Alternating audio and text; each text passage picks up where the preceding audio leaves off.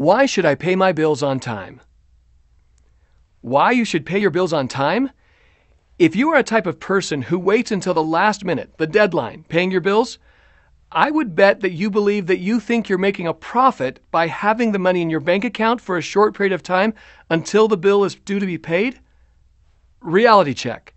Interest rates are so low that anything you think you're earning is offset by missing a deadline, misplacing a bill, whatever.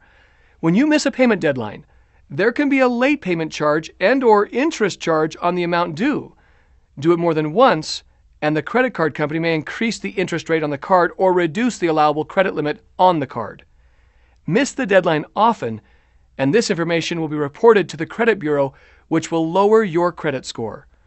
Then, when you apply for a car loan, new credit card, or just renew your mortgage on your house, watch the interest rate it will be higher than you expected due to the higher risk factor of a bad credit history.